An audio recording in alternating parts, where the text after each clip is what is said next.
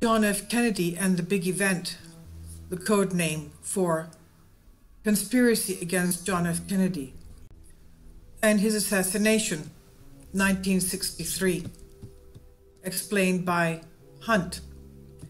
Flashback The CIA finally admitted to covering up the JFK assassination last year. Editor's note The article was originally published October 2015, but considering today is the anniversary of JFK assassination, meaning November 22nd, it seemed fitting to post it here again. There are thousands of records which are still hidden and secret from the public on both JFK and Martin Luther King's assassinations. I would also venture to say Robert Kennedy as well.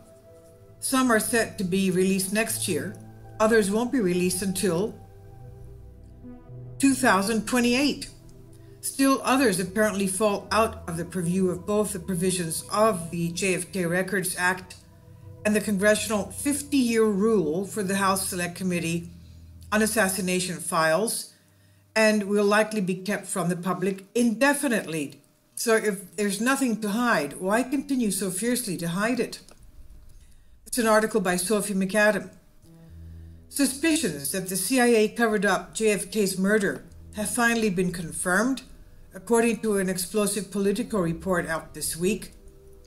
52 years after the president's death, declassified documents show that the CIA were in communication with alleged assassin Lee Harvey Oswald before JFK's murder in 1963, but they were monitoring his mail since 1959. Not only that, but John McCone, who was chief of the CIA at the time, allegedly hid evidence from the Warren Commission set up by Lyndon Johnson to investigate JFK's assassination.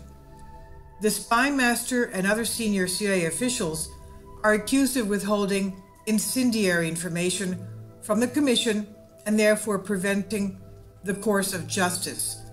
The CIA has already admitted this. The Politico report is based on evidence given by CIA historian David Robarge. He has claimed the cover up was intended to keep the Commission focused on, quote, what the agency believed at the time was the best, best truth that Lee Harvey Oswald, for as yet undetermined motives, had acted alone in killing John Kennedy, end quote. McCone directed the CIA to provide only quote, passive, reactive, and selective, end quote, assistance to the Warren Commission, meaning the investigation was severely compromised and did not follow up any other leads which may have been crucial in the search for truth. Robarge also believes that John McCone, who died in 1991, withheld vital information relating to various CIA plots to assassinate Fidel Castro the historian points out that these plots may well be linked to JFK's assassination. There's a strong chance his murder was a revenge attack for CIA operations in Cuba, but McCone's unwillingness to explore other potentialities outside of prime suspect Lee Harvey Oswald could have resulted in a grave miscarriage of justice. JFK was America's youngest ever and most charismatic president, and his death shocked the nation not only the nation, but the whole world, I would say. Alternative murders theories are popular across the states. A 2013 poll found that only 30% of Americans believed Oswald shot JFK and that he acted alone. 61% believe that others were involved in a conspiracy. And now we have to, I have to tell you that there, I will leave a link below for the embedded video. And it has 10 reasons to believe of course, they're feasible, very strong evidence, reasons to believe that there was a conspiracy to assassinate John F. Kennedy. David Robarge first published these exclusive claims in a secret internal CIA magazine in 2013.